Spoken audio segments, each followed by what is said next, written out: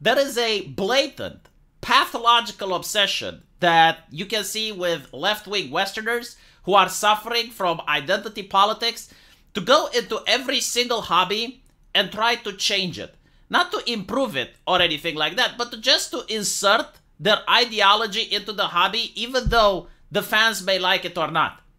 And they do this in a very smug, condescending way that is absolutely disgusting. Usually they will look at a hobby, they will say that because the hobby doesn't have X, Y, and Z, then clearly people who play the hobby are racist, uh, sexist, homophobic, whatever.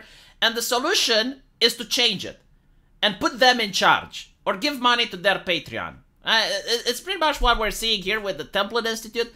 The Templin Institute is a YouTube channel that does lore videos and I guess in order to show how backward thinking and Westerners they are, they latch on to some controversy that still hasn't died over the internet, and that is like Warhammer doesn't have female space marines. Right now, it's interesting because in Warhammer you also don't have female orcs, but for some reason they're not trying to push into that. In Warhammer you also don't have male Adeptus Sororitas, and it's not to improve the game. Like this is not coming from within the community. It's not grassroots. I mean, before you had all of this woke madness, which by the way started with Occupy Wall Street when the Americans realized that we can divide people based on race and gender and they won't notice class.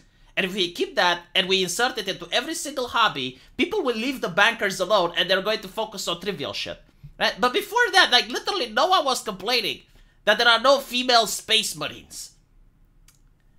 And of course, you know, you have the Templin Institute coming here that the argument there can't be female space marines, it violates established lore or canon, or whatever, is not only asinine, but reflects a total misunderstanding of the Warhammer 40k universe.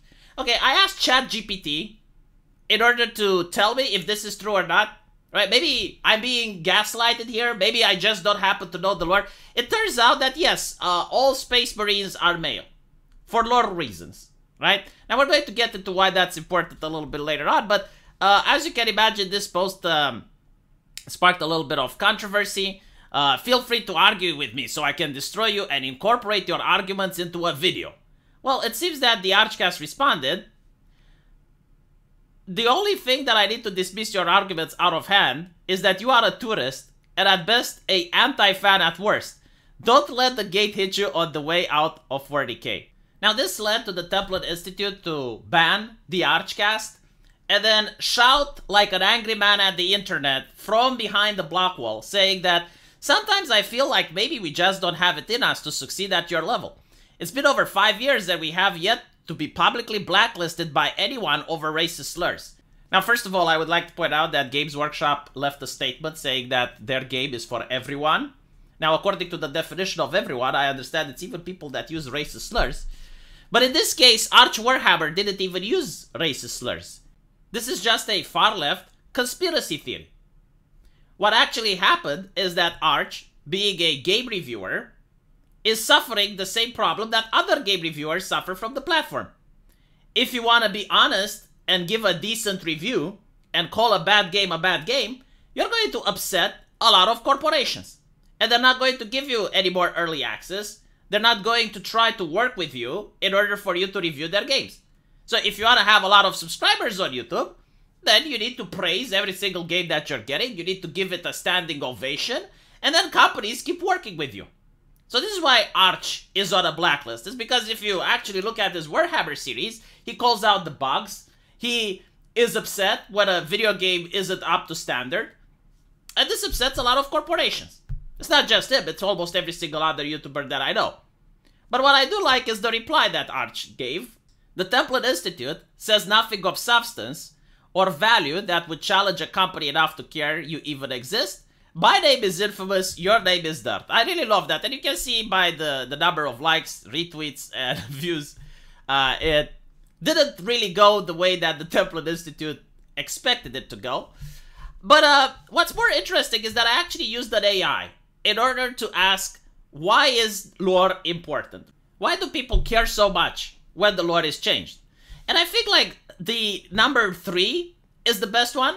Lore can also be an integral part of a fan base identity, and changing it can be viewed as a betrayal of that identity. In other words, many corporations are spending millions of dollars in marketing in order to try to make their product your identity. And you will see this a lot of times on the internet when people used to argue between PlayStation and Xbox, or people used to argue between iPhone and anything else. Because it was part of their identity to be the type of person that purchases the iPhone before everyone. And this is good for business. But for some reason, companies have moved away from trying to make their product an identity and are now pushing identity politics. So, in other words, oh, our company champions blah, blah, blah, blah, blah. If you champion blah, blah, blah, blah, blah, then you're a good person. I don't know if this is as good as business as trying to make your brand the identity of the customer. But suffice to say that when it comes to Warhammer, there are a lot of core fans that purchase a lot from these companies that identify themselves with the brand. So if you're just going to change the brand for the sake of changing it, yes, you may alienate these people. And then it also serves as the foundation for a story world, and changing it can fundamentally alter the experience for fans. Lore often reflects the cultural and societal values of the time in which it was created, and changing it can be seen as an attempt to impose moral values on the past. Changing elements of lore for the sake of wokeness can be seen as pandering or virtue signaling rather than a genuine attempt to improve the story. Altering the lore can also affect the continuity of the story. It can create inconsistencies and confusion among fans and affect the fans' understanding of the story. And lore is also a way of creating a sense of immersion in the story. Changing it can make it difficult for fans to suspend their disbelief and fully engaging with the story. Yes, I, I love this argument. It's like, oh, well, you know, Game of Thrones has dragons in it. It's got dragons in it. Like, well, why can't it have a BMW with an onboard computer with GPS and we can have that at the Battle of the Bastards? Because if it has dragons, like, it can have anything, right? So, I love the fact that the AI is now able to replace me. and uh, by the way, the question is like, will the AI pass the Turing test? Uh, I think it can't because I can definitely tell when I'm talking to an AI versus when I'm talking with a person. If the person is making dumb statements, it's probably a human being. If it actually makes coherent arguments and, it has a point, it's probably an AI. At least when you're navigating on Twitter. But of course, you know, this was never about like making the game more inclusive or anything like that. It never is. It's about grifting. And here you have the example. Thus concludes our participation into the great female space marine Twitter war. Did you, you pushed on a couple of controversial statements, blocked anyone that disagreed with you, and then started barking at the internet from behind the block wall. What what war? What what are you talking about? How many people were even on your side? Like no one cares about it. In five days, everyone is going to even oh Jesus, five days. In two days, uh, everyone is even going to forget that this ever happened, right? But like here it is. If you'd like to really stick it to those leftist woke moralists at the Templin Institute, why not force them to participate in capitalism by pledging to their Patreon? That will learn them.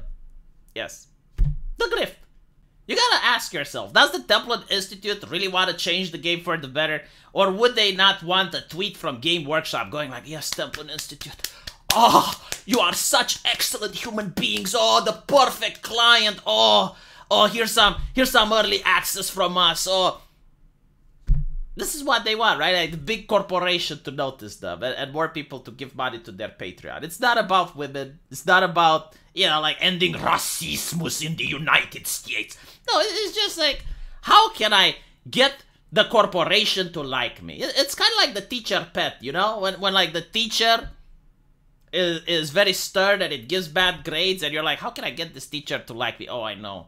I'm, I'm, I'm going to enforce what the teacher wants. It's like, teacher Little Billy didn't do his homework. Oh. Uh, anyway, right. Let me know what you guys think. And as usual, I will see you in the comment section. Take care.